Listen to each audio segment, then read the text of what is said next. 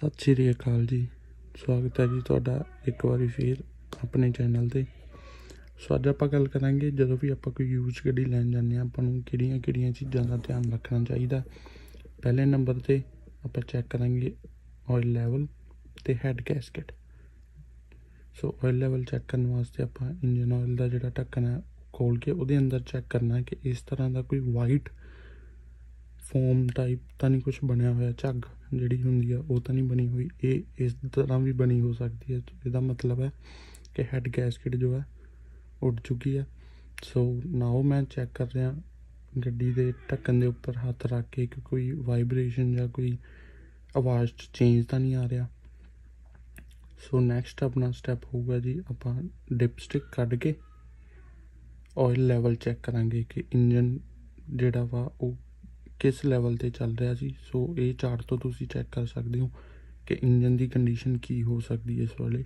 ਔਰ level check ਕਰਨ ਤੋਂ ਬਾਅਦ ਡਿਪਸਟਿਕ ਨੂੰ ਅੰਦਰ ਪਾਉਣ ਤੋਂ ਪਹਿਲਾਂ ਆਪਾਂ ਚੈੱਕ ਕਰਾਂਗੇ ਕਿ ਜਿਹੜੀ ਆਪਣੀ ਡਿਪਸਟਿਕ ਹੈ, ਉਹਦੇ ਉੱਪਰ ਕੋਈ ਟਿਸ਼ੂ ਪੇਪਰ ਵਾਈਟ ਕਲਰ ਦਾ ਜਾਂ ਕੁਝ ਇਦਾਂ ਦਾ ਰੱਖ ਕੇ ਕਿ ਡਿਪਸਟਿਕ ਦੇ ਵਿੱਚੋਂ ਜਿਹੜਾ ਤੇਲ ਹੈ, ਇੰਜਨ ਆਇਲ ਉਹ ਬਾਹਰ ਨੂੰ ਤਾਂ ਨਹੀਂ ਆ ਰਿਹਾ।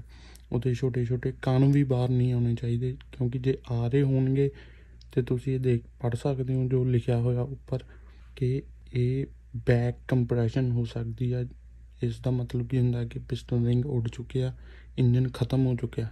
ਸੋ ਇਹਨੂੰ ਨਵੇਂ ਇੰਜਨ ਦੀ ਲੋੜ ਹੈ ਇਸ ਗੱਡੀ ਨੂੰ, ਜੇ ਇਸ ਵਿੱਚੋਂ ਤੇਲ ਬਾਹਰ ਆ ਰਿਹਾ। ਸੋ ਨੈਕਸਟ ਆਪਣਾ ਜਿਹੜਾ ਥਿੰਗ ਹੈ ਉਹ ਆਪਾਂ ਮੇਨ ਚੀਜ਼ ਚੈੱਕ ਕਰਨੀ ਹੈ ਟਰਾਂਸਮਿਸ਼ਨ ਉਹਦੇ ਚ ਨੋਇਜ਼ ਤੇ ਉਹਦਾ ਆਇਲ ਲੈਵਲ ਸੋ ਇਹ ਸੁਬਰੂ ਦੀ ਗੱਡੀ ਹੈ ਜੀ। ਸੋ ਆਲ ਵੀਲ ਡਰਾਈਵ ਗੱਡੀ ਹੈ। ਇਹਦੇ ਚ ਦੋ ਡਿਪਸਟਿਕਸ ਨੇ। ਇਹ ਚਾਰਟ ਤੋਂ ਤੁਸੀਂ ਚੈੱਕ ਕਰ ਸਕਦੇ ਹੋ। ਤੇਲ ਦਾ ਰੰਗ।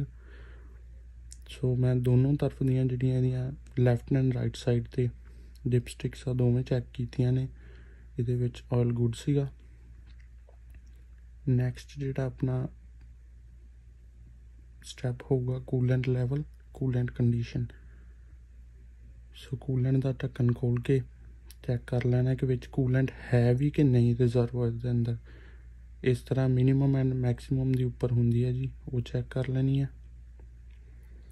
Next brake fluid level and condition brake fluid ਦੇ ਜਿਹੜਾ ਰਿਜ਼ਰਵਰ ਆ, ਉਹਨੂੰ ਖੋਲ ਕੇ ਆਪਾਂ ਚੈੱਕ ਕਰਾਂਗੇ ਕਿ ਬ੍ਰੇਕ ਫਲੂਡ ਦਾ ਜਿਹੜਾ ਕੰਡੀਸ਼ਨ ਕਿਸ ਤਰ੍ਹਾਂ ਦੀ ਹੈ, ਉਹ ਜ਼ਿਆਦਾ ਹੀ ਕਾਲਾ ਜਾਂ ਜਾਂ ਗਾੜਾ ਤਾਂ ਨਹੀਂ ਹੋਇਆ ਪਿਆ। ਜੇ ਉਹ ਗਾੜਾ ਹੋਇਆ ਪਿਆ, ਮਤਲਬ ਕਿ ਫਲੱਸ਼ ਕਰਵਾਉਣ ਦੀ ਲੋੜ ਪਏਗੀ ਜਾਂ ਕੋਈ ਪ੍ਰੋਬਲਮ ਹੋ ਸਕਦੀ ਹੈ ਗੱਡੀ ਦੇ ਅੰਦਰ।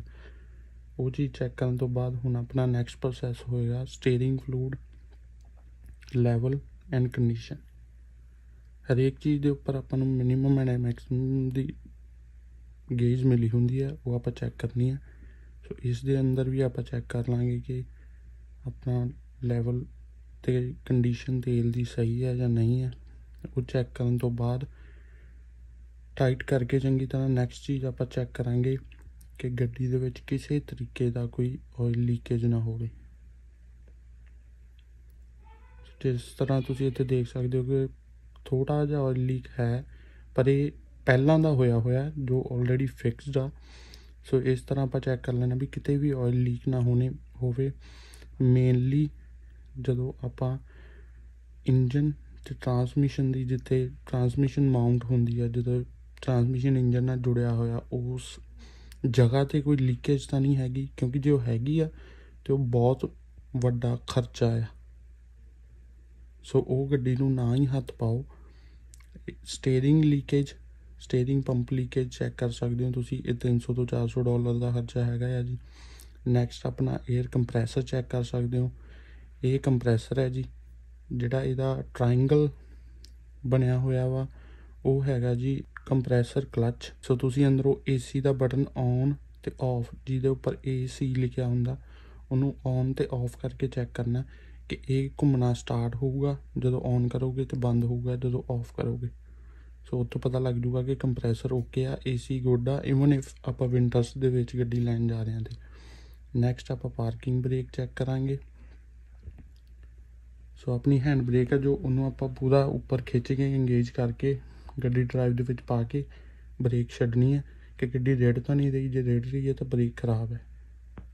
ਨੈਕਸਟ ਬ੍ਰੇਕ ਬੂਸਟਰ ਜੋ ਮੇਨ ਪਾਰਟ ਹੈ ਬ੍ਰੇਕ ਦਾ।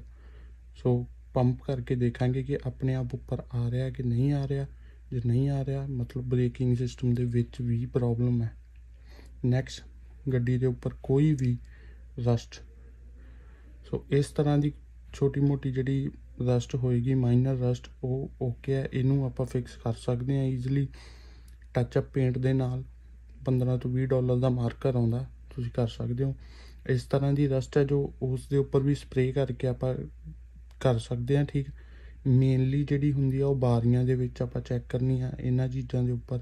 ਇਸ ਤਰ੍ਹਾਂ ਦੀ ਰਸਟ ਨਾ ਹੋਵੇ ਗੱਡੀ ਦੇ ਉੱਪਰ, ਕਿਉਂਕਿ ਇਹ ਫਿਕਸੇਬਲ ਨਹੀਂ ਹੈਗੀ। ਆਪਾਂ ਸਾਰੀਆਂ ਬਾਰੀਆਂ ਚੈੱਕ ਕਰਾਂਗੇ। ਅੰਡਰ ਬੋਡੀ ਵੀ ਰਸਟ ਚੈੱਕ ਕਰਨੀ ਕਿ ਇਸ ਤਰ੍ਹਾਂ ਦੀਆਂ 20 ਗੱਡੀਆਂ ਮੈਂ ਦੇਖੀਆਂ ਹੋਈਆਂ ਨੇ, ਕਿ ਇਸ ਤਰ੍ਹਾਂ ਦੀਆਂ 20 ਗੱਡੀਆਂ ਮਿਲਦੀਆਂ ਪਈਆਂ ਨੇ 5-500 700 ਡਾਲਰ ਦੀਆਂ। ਸੋ ਇਹਨਾਂ ਨੂੰ ਨਾ ਲਾਓ, ਕਿਉਂਕਿ ਇਹ ਗੱਡੀ ਦਾ ਮੇਨ ਫਰੇਮ ਹੀ ਗਲਿਆ ਹੋਇਆ, ਇਹਦਾ ਕੋਈ ਪਤਾ ਨਹੀਂ ਇਹਨੇ ਕਿੱਥੇ ਕਿਹੜੀ ਚੀਜ਼ ਟੁੱਟ ਜਾਣੀ ਤੇ ਖਰਚਾ ਸ਼ੁਰੂ ਹੋ ਜਾਣਾ ਗੱਡੀ ਦਾ। ਸੋ ਨੈਕਸਟ ਆਪਾਂ ਜਿਹੜੀਆਂ ਹੋਰ ਚੀਜ਼ਾਂ ਚੈੱਕ ਕਰਨੀਆਂ ਨੇ, ਤੁਸੀਂ ਪਾਵਰ ਵਿੰਡੋ ਚੈੱਕ ਕਰੋ, ਉਹਦੇ ਵਿੱਚ ਚੈੱਕ ਕਰੋ। ਕਿ ਕੋਈ ਸ਼ੀਸ਼ਾ ਉੱਪਰ ਥੱਲੇ ਜਾਣ ਦੇ ਵਿੱਚ ਪ੍ਰੋਬਲਮ ਨਾ ਹੋਵੇ। ਰਿਮੋਟ ਲੌਕ ਹੈ ਰਿਮੋਟ ਚੈੱਕ ਕਰੋ ਗੱਡੀ ਦਾ।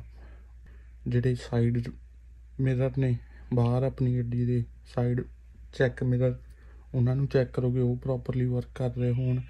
ਸਾਰੀਆਂ ਲਾਈਟਾਂ ਚੈੱਕ ਕਰੋ। Front headlight high beam low beam everything tail light indicator everything check ਕਰਕੇ ਗੱਡੀ ਨੂੰ ਫੇਰ ਹੀ ਲਓ। ਸੋ ਇਹ ਸਾਰਾ ਕੁਝ ਮੇਨ ਜੋ ਹੈ ਸੀ, ਉਹ ਮੈਂ ਤੁਹਾਨੂੰ ਦੱਸ ਦਿੱਤਾ। ਸੋ ਧੰਨਵਾਦ ਤੁਹਾਡਾ ਬਹੁਤ ਬਹੁਤ ਆਪਣੇ ਚੈਨਲ ਤੇ ਇਸ ਵੀਡੀਓ ਨੂੰ ਦੇਖਣ ਲਈ। ਸੋ ਜੇ ਇਹ ਵੀਡੀਓ ਹੈਲਪਫੁਲ ਲੱਗੀ ਹੋਵੇ ਤਾਂ please like share and comment and subscribe ਕੋਈ ਵੀ ਤੁਹਾਡੀ ਕੁਐਰੀ ਆ ਜਾਂ ਤੁਹਾਨੂੰ ਕੋਈ ਕੁਐਸਚਨ ਤੁਸੀਂ ਪੁੱਛਣਾ ਆ, ਤੁਸੀਂ ਮੈਨੂੰ ਕਮੈਂਟ ਕਰ ਸਕਦੇ ਆ ਇਸ ਵੀਡੀਓ ਦੇ ਉੱਪਰ ਤੇ ਮੈਂ ਤੁਹਾਨੂੰ ਜਲਦ ਤੋਂ ਜਲਦ ਰਿਪਲਾਈ ਬੈਕ ਕਰੂੰਗਾ। Thank you